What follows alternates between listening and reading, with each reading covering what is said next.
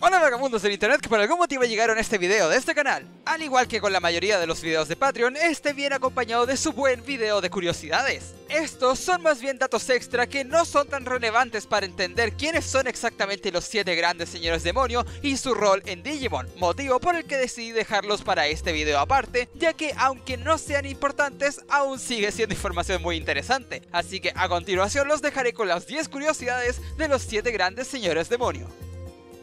Número 1.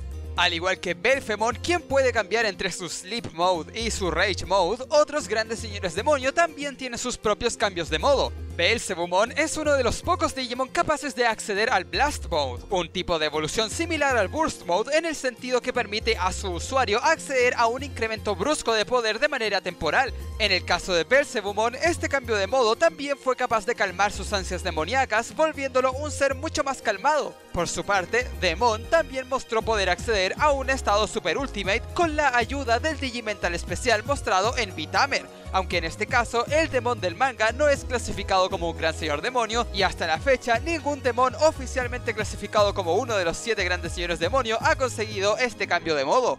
Número 2. Como ya sabrán, los 7 Great Demon Lords han aparecido en muchos productos, y como regla general, donde sea que ellos aparezcan, estos serán un significado de peligro inminente. Salvo en Digimon Links, aquí estos 7 demonios fueron totalmente sobrepasados y humillados por parte de Volcanic Dramon, quien usó sus poderes mutagénicos para convertirlos en sus minions personales, creando así a los 7 grandes señores demonio mutados.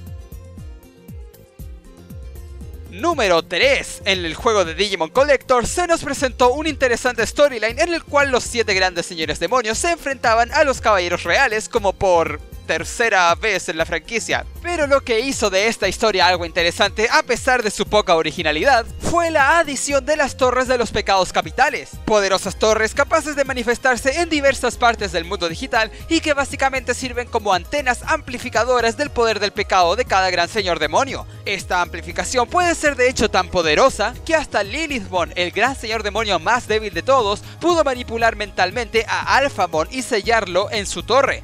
Y para empeorar aún más las cosas, incluso Ogdomon posee su propia torre, la cual seguramente amplifica el poder de los 7 pecados capitales simultáneamente. Número 4. Y hablando de Ogdomon, una de las partes más interesantes de su diseño es definitivamente las espadas que se encuentran clavadas en cada una de sus piernas. Estas espadas simbolizan a cada uno de los siete grandes señores demonio, y por sobre estas se encuentra posada la corona del pecado correspondiente a cada espada. Debido al ángulo en el que fue dibujado el artwork oficial, es imposible apreciar el diseño de cada una de estas espadas, pero gracias al juego del Battle Terminal 02 y al trabajo exhaustivo de un usuario de Twitter conocido como Digimon X, ya tenemos una recreación extremadamente fiel en 3D del diseño de cada una de estas espadas.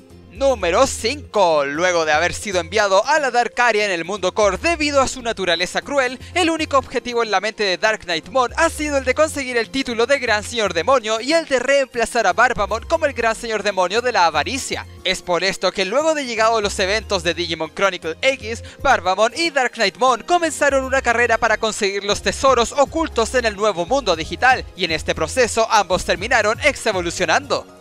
Número 6. Los 7 grandes señores demonio debutaron oficialmente en el año 2003 en medio del storyline de Digimon Chronicle, más específicamente en el Booster Pack 22 con una carta titulada La llegada de los 7 grandes señores demonio. Sin embargo, en su debut estos aún no eran 7, pues Belfemon aún no había debutado en la franquicia. Aunque si nos fijamos bien, en el fondo de la carta se puede ver claramente una silueta de Baphomet, quien inspiró directamente el diseño de...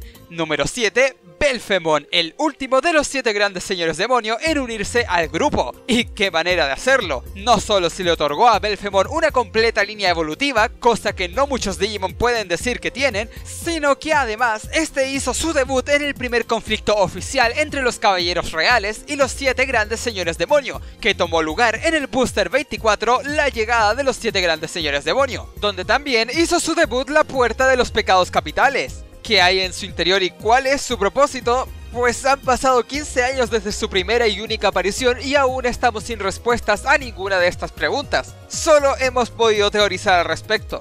Pero eso acabará aquí, ya que en el video de la próxima semana les revelaré todos los secretos ocultos detrás de la puerta de los 7 pecados capitales, así que estén atentos a ese video. Número 8 aunque toda esta historia de Belfemon pareciera haber estado perfectamente planeada desde un principio, Bandai es Bandai y un fail de su parte tenía que ocurrir. Casi 7 meses después de haber sido revelado por completo el grupo de los 7 grandes señores demonio, con Belfemon incluido, Bandai publicó su nuevo juego Digimon Battle Chronicle, en el cual incluyó nuevos perfiles oficiales para algunos de sus Digimon, entre los que se encontraba Belial Bamdemon, cuyo perfil de este juego dice textualmente, se cree que este Digimon es uno de los 7 grandes señores demonio.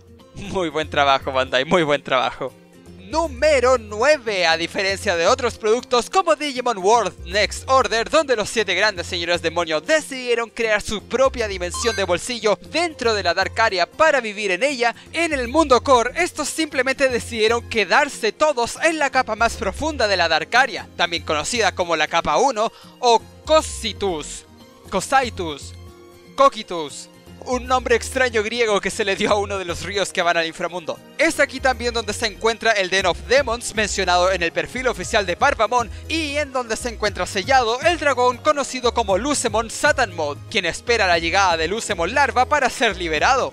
Número 10. Aún así, hay un gran señor demonio que se escapa de esta regla completamente. Leviamon, quien en vez de simplemente quedarse en el centro de la Darkaria junto al resto de los grandes señores demonio, este prefiere dormir eternamente en la zona más profunda del Océano Net, donde se encuentra la distorsión dimensional que une al mundo digital con la Dark Area en el mundo core. Esta zona es también conocida como la Dark Web y pequeño momento de felicidad para mí, yo de hecho teoricé hace casi un año atrás que la zona en la que habita Leviamon se llamaría la Dark Web y tal y como predije, esto fue confirmado por Bandai de manera oficial hace tan solo dos meses. Así que eso me hizo un poquito happy y me dieron ganas de compartirlo con ustedes.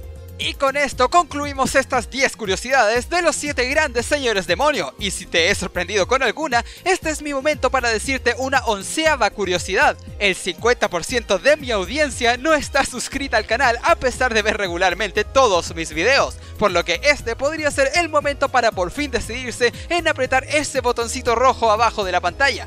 Para los que deseen apoyar aún más al canal y apoyarme a comprar un nuevo micrófono para mejorar la calidad de los videos, pueden unirse a mi Patreon, donde podrán obtener muchos beneficios muy geniales, como por ejemplo videos exclusivos del canal, y para la gente que le gustaría tener su propio noticiero de Digimon en el bolsillo, o simplemente tener a más gente con quien hablar de la franquicia, les recuerdo que también he abierto mi propio Discord del canal, link a este, a la página de Patreon y a mis redes sociales en la descripción con toda esta autopublicidad de lado que estoy seguro que les encanta escuchar cada semana, este vagabundo del internet se despide y espera verlos en el próximo video. ¡Adiós!